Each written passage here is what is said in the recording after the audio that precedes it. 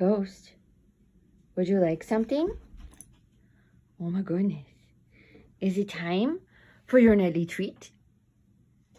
Would, would you like a chewy?